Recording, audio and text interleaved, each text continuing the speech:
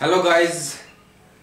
आज जो last class में हम हमने स्टार्ट किया था प्रॉपर्टीज ऑफ प्योर सब्सटेंस हम उसी को आगे कंटिन्यू करेंगे हमने पढ़ा था टीएस डायग्राम पढ़ा था फिर उसके अंदर सबकूल्ड रीजन पढ़ा था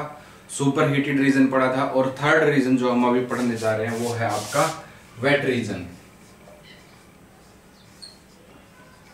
wet region actual में जो ये टीएस डायग्राम है यहाँ पर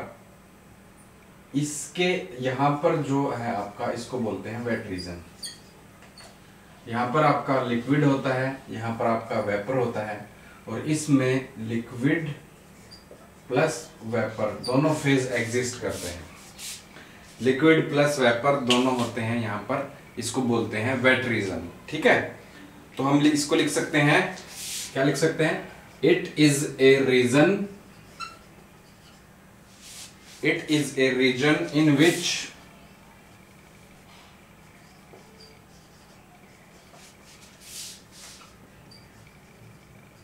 liquid vapor mixture exists in equilibrium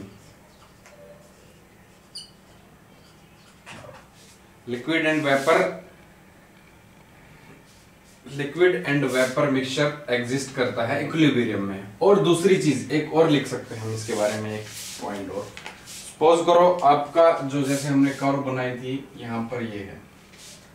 ठीक है ये कांस्टेंट प्रेशर लाइन है इसमें सपोज करो अगर पॉइंट ये वन है आपका तो देखो T1 क्या होगा ये T1 टेम्परेचर होगा और सेचुरेशन टेम्परेचर की जो बात कर रहे थे हम ये क्या होगा यही आपका टी सेचुरेशन होगा यानी कि टी वन इक्वल टू क्या होगा यहां पर T one equal to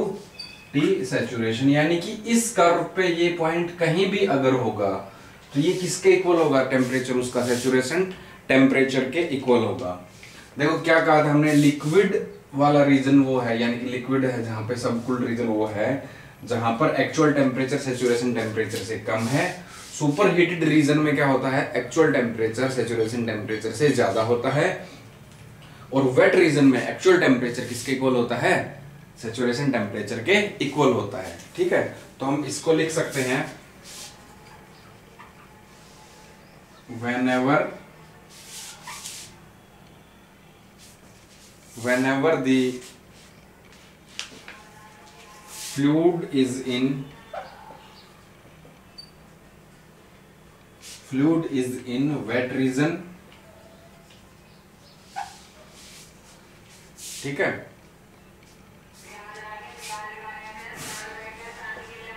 its temperature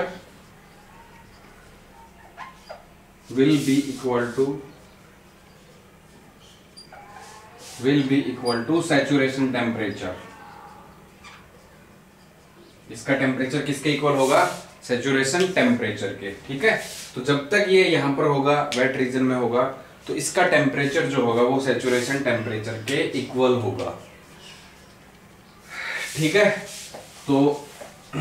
अब एक्चुअल में क्या होता है इसको हम एक चीज और बता देता हूं आपको इसको ये जो वन पॉइंट है इस वन पॉइंट को हम इस तरह से डिनोट करते हैं इसको हम ऐसे लिख लेते हैं ठीक है और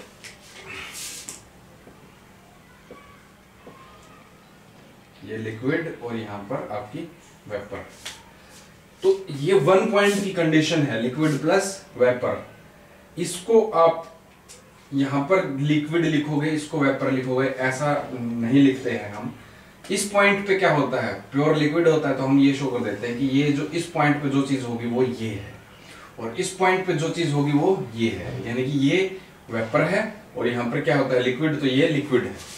नीचे वाला लिक्विड है ऊपर वाला क्या है वेपर तो हम इसको ऐसे शो कर सकते हैं ठीक है इस टाइप से शो करते हैं वेट रीजन में मतलब ये कंडीशन एक्चुअल में पॉइंट वन की है लेकिन जो ऊपर वाली स्टेट है वो क्या है वेपर वेपर किस पॉइंट पे है इस पॉइंट पे और ये नीचे वाली कंडीशन किसकी लिक्विड प्योरली लिक्विड कहां पर है यहां पर इस पॉइंट पे तो हम ऐसे शो कर देते हैं इसको ठीक है इस टाइप से शो कर सकते हैं अब नेक्स्ट देखो एक चीज और आ, फिर से हम ये टीएस डायग्राम बनाते हैं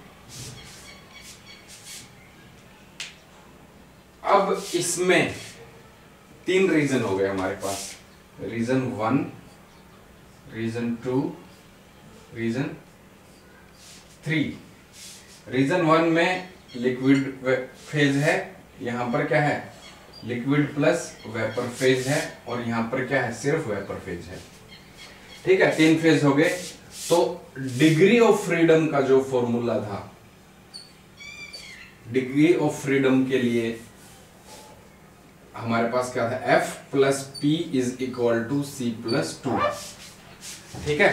F plus P is equal to C plus two ये आप किसने दिया था गिब्स ने दिया था गिब्स फेज रूल यहां पर पी क्या है आपके नंबर ऑफ फेजेस सी है आपके नंबर ऑफ कंपोनेंट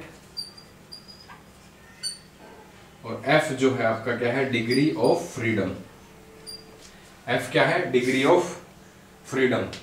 ठीक है तो देखो अब रीजन वन में देखो तीनों में निकालते हैं रीजन वन यहां पर रीजन टू और रीजन थ्री तीनों में निकालते हैं ठीक है रीजन वन में देखो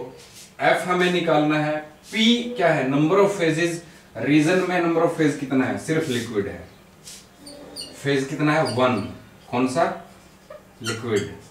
कंपोनेंट कितने हैं ये भी वन है क्योंकि सिर्फ हमने पानी ही लिया है एच टू ही है सिर्फ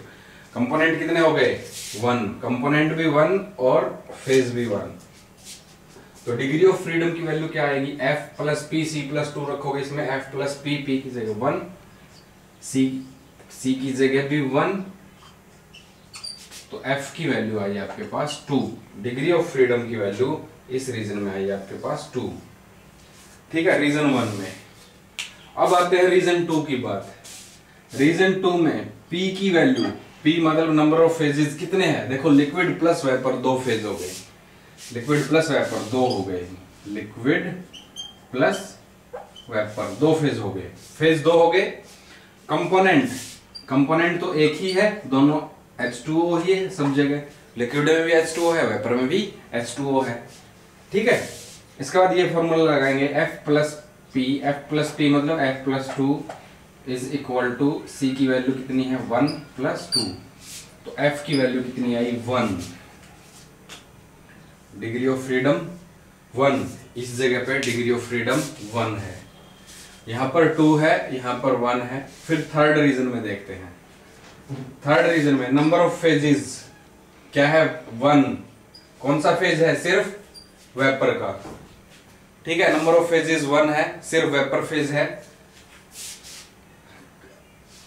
कंपोनेंट कितने हैं कंपोनेंट वन ही है कौन सा है वाटर का ठीक है कंपोनेंट एक ही है H2O है उसके बाद F plus P F plus P is equal to C plus two वाली में इक्वेशन में रखेंगे F plus F plus P P की जगह वन सी की जगह वन और यहां पर टू तो यहां पर डिग्री ऑफ फ्रीडम की वैल्यू आई टू देखो डिग्री ऑफ फ्रीडम इस subcooled and super heated region में तो टू है फर्स्ट में और थर्ड में कितनी है टू और वेट रीजन में कितनी है वन है चलो अब इसको देखते हैं ये ऐसा क्यों है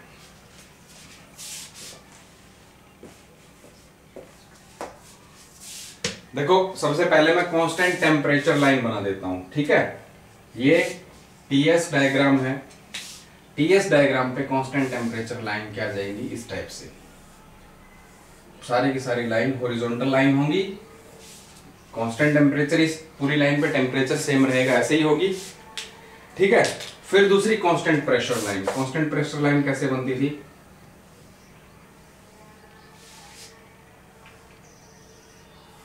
ये कांस्टेंट प्रेशर लाइन है ठीक है अब देखो इस रीजन के अंदर इस रीजन के अंदर कांस्टेंट प्रेशर लाइन तो इनक्लाइंड है लेकिन कांस्टेंट टेम्परेचर लाइन क्या है हॉरिजॉन्टल है तो इस रीजन में प्रेशर एंड टेम्परेचर दोनों अलग अलग चेंज हो रहे हैं अलग अलग वेरी हो रहे हैं ठीक है प्रेशर कांस्टेंट प्रेशर लाइन इस डायरेक्शन में है और कांस्टेंट टेम्परेचर लाइन इस डायरेक्शन में है तो दोनों अलग अलग तरह से वेरी हो रहे हैं लेकिन जैसे ही हम इस रीजन में जाते हैं वेट रीजन में यहां पर दो वेरिएबल हो गए टेम्परेचर एंड प्रेशर अब देखो ये जो यहां पर है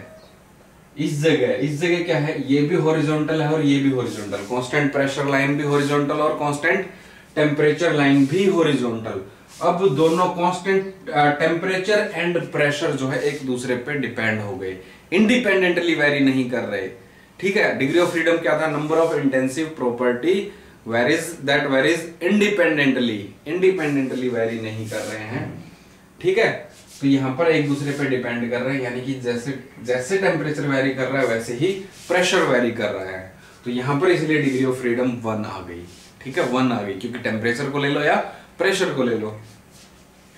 ठीक है फिर इस रीजन में फिर से देखो इस रीजन में कॉन्स्टेंट प्रेशर लाइन अलग से है और कॉन्स्टेंट टेम्परेचर लाइन अलग से है ठीक है कांस्टेंट प्रेशर लाइन अलग है कांस्टेंट टेम्परेचर लाइन अलग है तो यानी कि pressure and temperature independently vary हो रहे हैं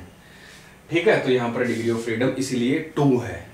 ठीक है डिग्री ऑफ फ्रीडम यहां पर टू क्यों है टेम्परेचर प्रेशर अलग अलग वेरी कर रहे हैं तो दो होगी डी टेम्परेचर एंड प्रेशर दो इंटेंसिव प्रोप वेरिएबल हो गए यहां पर टेम्परेचर एंड प्रेशर क्या है एक साथ ही वेरी कर रहे हैं मतलब टेम्परेचर एंड प्रेशर एक दूसरे से इंडिपेंडेंटली वेरी नहीं कर रहे हैं तो इसलिए यहाँ पर एक ही डिग्री ऑफ फ्रीडम होगी यहाँ पर फिर से constant pressure and constant temperature line अलग से हैं तो इंडिपेंडेंटली वेरी कर रहे हैं तो डिग्री ऑफ फ्रीडम कितनी होगी वहां पर टू होगी तो ऐसे इस वेट रीजन में डिग्री ऑफ फ्रीडम आपकी वन होगी बाकी दोनों रीजन में आपकी डिग्री ऑफ फ्रीडम टू होगी तो इसको आप नोट करके ऐसे लिख सकते हैं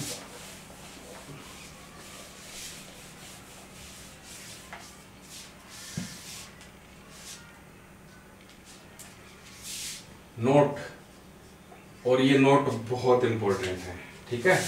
ये नोट बहुत इंपॉर्टेंट है इस पर हम स्टार लगा देते हैं एक दो तीन स्टार थ्री स्टार ठीक है थ्री स्टार नोट है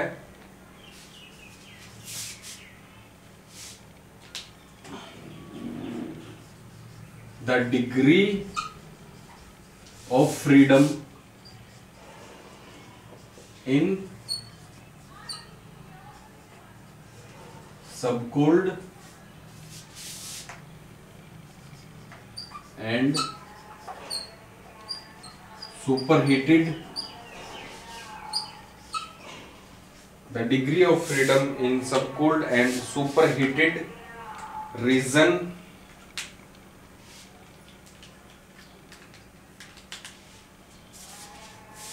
region is two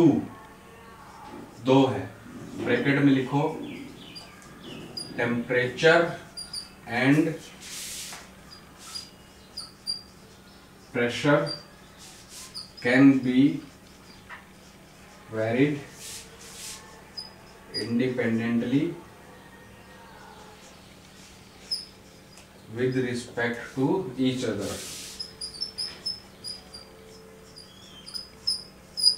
ठीक है उसके बाद पैराग्राफ चेंज करके लिख लेंगे the degree of freedom degree of freedom in wet region is one और ब्रैकेट में लिख लो temperature and pressure can not be varied independently with respect to each other independently vary नहीं कर सकते इसको ठीक है टेम्परेचर एंड प्रेशर को वेट्रीजन में इसलिए वहां पर डिग्री ऑफ फ्रीडम क्या है आपकी वन है ठीक है ये बहुत इंपॉर्टेंट है नोट ठीक है आपको समझ में आ गया होगा चलो अब आगे बढ़ते हैं आगे बढ़ते हैं इसमें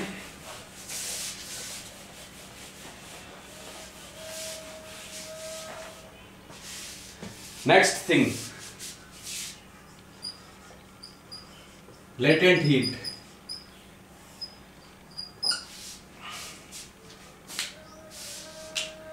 देखो मैंने आपको एक चीज बताई मैंने आपको बताया कि यहां पर एक पॉइंट था हमने इसको हीट करना स्टार्ट किया हीट करते रहे हीट करते रहे हीट करते रहे यहां पे पहुंचा फिर से फिर हीट करते रहे हीट करते रहे हीट करते रहे यहां पे पहुंचा फिर हीट करते रहे यहां पे पहुंचा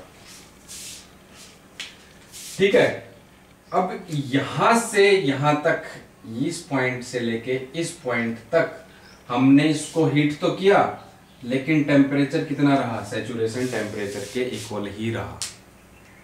ठीक है टेम्परेचर कितना रहा सेचुरेशन टेम्परेचर के इक्वल ही रहा इस वन पॉइंट से लेके सपोज करो ये पॉइंट आपका वन है और ये टू है वन पॉइंट से लेके टू पॉइंट तक हमने इसको हीट तो किया ठीक है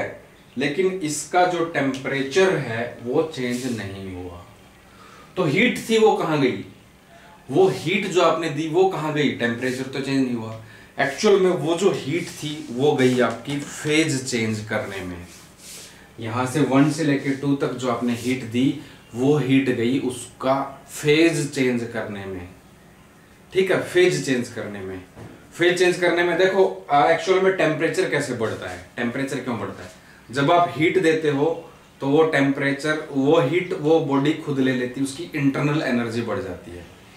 वो मोलिक्यूल खुद ले लेगा उसको और उसकी इंटरनल एनर्जी बढ़ जाएगी उससे आपका टेम्परेचर बढ़ जाएगा सिंपल ठीक है उसके बाद हमने पढ़ा भी था internal energy function of temperature होती है तो यानी कि हीट कहाँ चली गई इंटरनल एनर्जी में जिससे उसका टेम्परेचर बढ़ेगा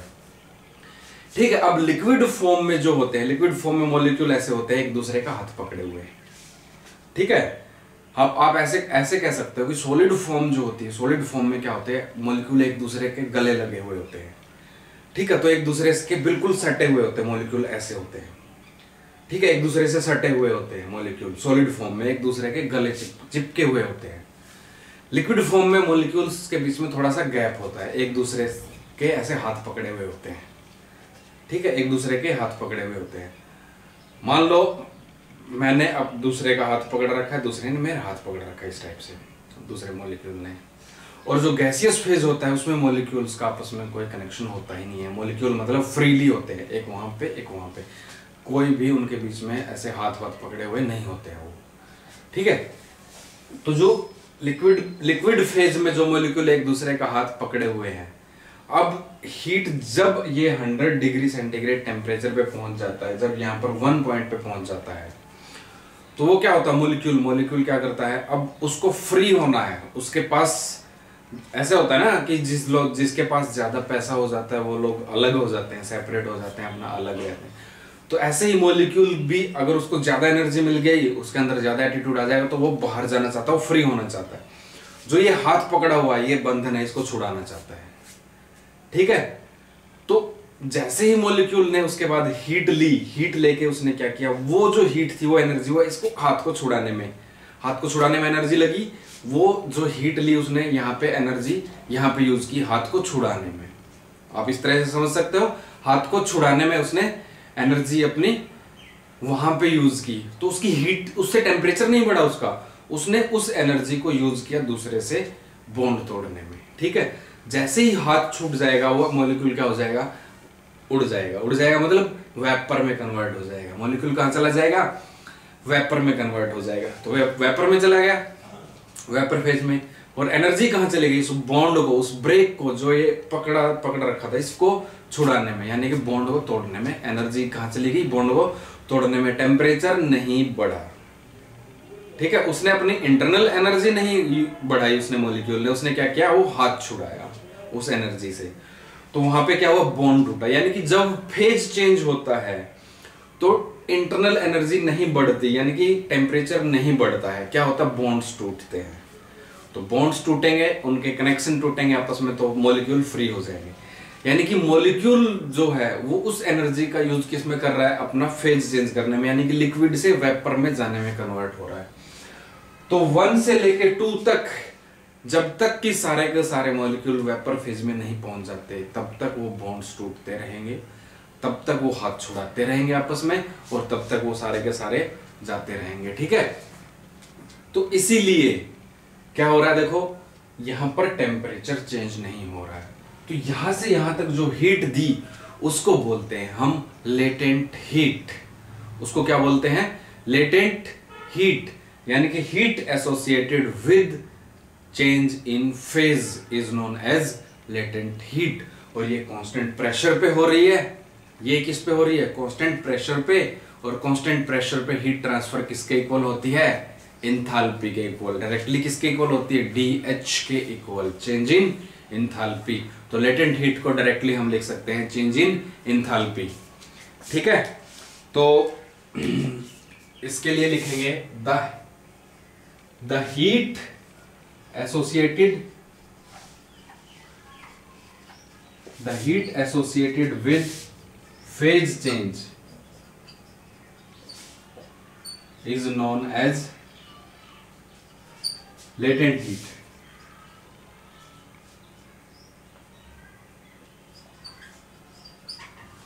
इसको क्या कहेंगे लेटेंट हीट कहेंगे ठीक है अब हम लिख लेते हैं पैराग्राफ चेंज के चेंज करके as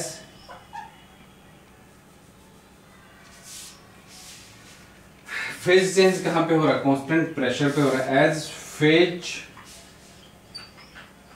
change occurs at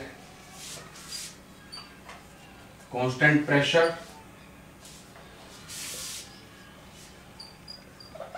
as phase change occurs at constant pressure So latent heat is equal to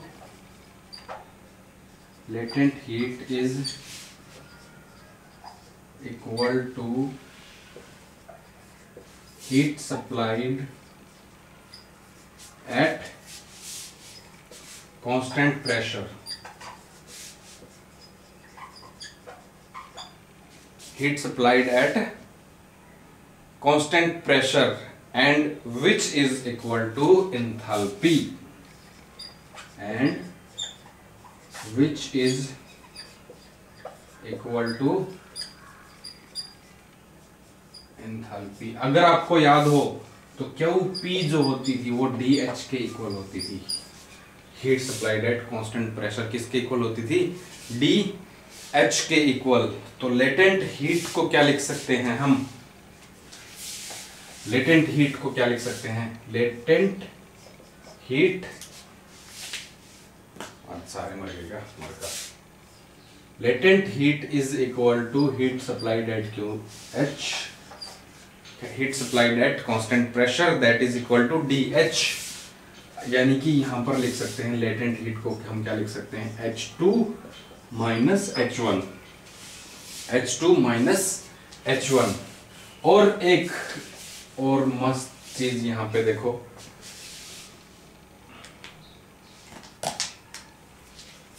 ये जो कर्व है इस कर्व को हम दोबारा से बना लेते हैं इसको मैं रेड लाइन से बना लेता हूं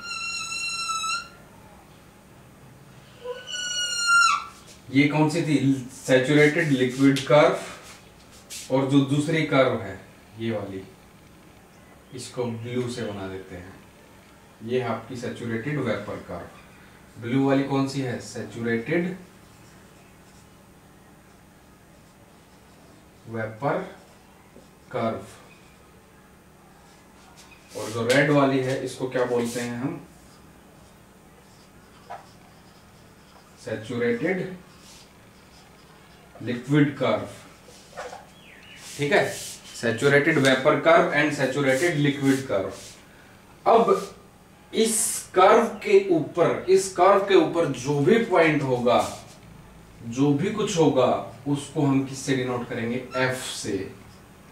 उसको किससे डिनोट करेंगे एफ से और जो लिक्विड सेचुरेटेड वेपर कर्व पे जो भी पॉइंट होगा उसको हम रिप्रेजेंट करेंगे जी से इस कर्व के ऊपर एफ और इस कर्व के ऊपर जी देखो जैसे वन पॉइंट किस किस कर्व के ऊपर है इधर वाली रेड कर्व पे तो वन पॉइंट को लिखेंगे हम एच एफ वन पॉइंट को लिखेंगे एच एफ और टू पॉइंट किस कर्व पे है जी वाली पे तो एच जी तो लेटेंट हीट को हम लिखेंगे टू पॉइंट को क्या लिखेंगे जी और वन पॉइंट को क्या लिखेंगे एच ठीक है H G minus H F और इसको लिखते हैं H F G second minus first होता है ये यही चीज ये बहुत इंपॉर्टेंट है ठीक है ये बहुत इंपॉर्टेंट है इस वाली कर्व पे जो भी पॉइंट होंगे उनको एफ लिखेंगे और इस वाली कर्व पे वेपर वाली कर्व पे जो पॉइंट होंगे उनको जी लिखेंगे तो दो पॉइंट किस पे जी पे तो टू की जगह क्या लिखेंगे जी और वन की जगह क्या लिखेंगे एफ ठीक है ये याद रखना ये बहुत इंपॉर्टेंट है ठीक है अब जैसे आपको यहां बताया मैंने ठीक है इस कर्व ये जो कर्व है आपकी ये इस टाइप से इस कर्व पे मैंने क्या बताया आपको सारे एफ लिखेंगे एफ लिखेंगे मतलब यू अगर होगा तो यू एफ लिखेंगे जैसे एच होगा तो एच एफ लिखेंगे ठीक है एस होगा तो एस एफ लिखेंगे इस टाइप से इस साइड में और ये जो दूसरी कर्व है इधर वाली इधर क्या लिखेंगे सारे जी यानी कि U G F H G S G इस टाइप से इस कर्व के ऊपर जो पॉइंट होंगे उनको इस कर्व के ऊपर जो पॉइंट होंगे उनको और इधर वाली जो लिक्विड वेपर कर्व है उसके ऊपर सब पॉइंट हो गए आगे एफ लगाएंगे और liquid sorry saturated vapour saturated curve है जो सेचुरेटेड वेपर कर्व के साथ जी लगाएंगे ये याद रखना बहुत इंपॉर्टेंट है ठीक है अब एक चीज और देख लेते हैं हम अब फिर से हम फटाफट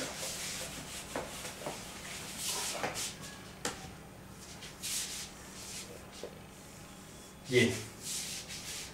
ठीक है सपोज करो यहां पर आपका प्रेशर कम था तो इस पॉइंट से लेके इस पॉइंट तक की ही तो हीट जो थी उसको लिखा हमने लेटेंट हीट तो लेटेंट हीट वन लिख लेते हैं एल एच वन ठीक है ये एल एच वन फिर दूसरा दूसरा कांस्टेंट प्रेशर लाइन ये वाली ये क्या है एल एच टू ये एल एच टू फिर थर्ड थर्ड कौन सपोज ये है ये वाली यहां से लेके लेटेंट हीट थ्री और ये वाली स्पोज करो फोर्थ एल एच फोर तो जैसे जैसे हम नीचे से ऊपर जा रहे हैं यहां पर कौन सा पॉइंट होता है क्रिटिकल पॉइंट जैसे जैसे हम नीचे से ऊपर जा रहे हैं जैसे जैसे प्रेशर बढ़ता जा रहा है लेटेंट हीट आपकी कम होती जा रही है लेटेंट हीट क्या होती जा रही है कम देखो यहाँ पर ये वैल्यू है फिर डिक्रीज हो गई फिर और डिक्रीज हो गई फिर और डिक्रीज हो गई तो जैसे जैसे हम प्रेशर बढ़ाते जा रहे हैं लेटेंट हीट की वैल्यू कम होती जा रही है और क्रिटिकल पॉइंट पे तो ये लेटेंट हीट की वैल्यू क्या हो गई जीरो हो गई देखो ये डायरेक्टली ऐसे जाएगा ठीक है क्रिटिकल पॉइंट पे लेटेंट हीट की वैल्यू क्या हो गई जीरो तो यानी कि जैसे जैसे प्रेशर इंक्रीज होगा लेटेंट हीट ऑफ वेपोराइजेशन आपकी क्या होगी डिक्रीज होगी ठीक है इसको नोट करके लिखेंगे बहुत बहुत अच्छा नोट है जैसे जैसे लेटेंट हीट जैसे जैसे प्रेशर बढ़ेगा वैसे वैसे लेटेंट हीट आपकी कम हो जाएगी और क्रिटिकल पॉइंट पे ये क्या हो जाएगी जीरो ठीक है तो हम इसको लिखेंगे नोट करके लिखेंगे बहुत इंपॉर्टेंट है ये वाला नोट भी ये वाला आप लगा लो फोर स्टार है ठीक है लास्ट नोट हमने थ्री स्टार लिखा था अब फोर स्टार लिख रहे हैं देखो क्या लिखना है with increase in pressure comma latent heat of vaporization decreases latent heat of vaporization decreases and at critical point